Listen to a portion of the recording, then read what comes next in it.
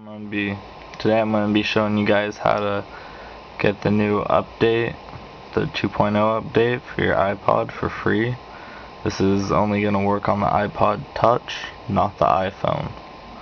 So you're gonna want to download the update from the site that I uh, have listed and it's pretty easy.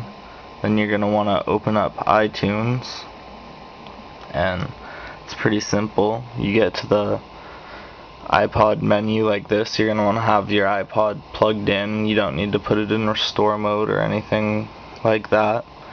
And you're going to want to hit shift and then click on the restore. And it's going to pop up with a window like this. And you just find that update that you've downloaded. Mine's right here.